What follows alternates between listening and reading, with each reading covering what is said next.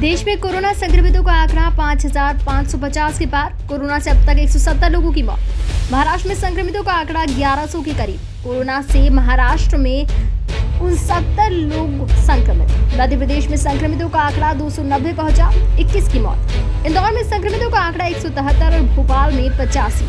तमिलनाडु में सात सौ अड़तीस संक्रमित सात की मौत।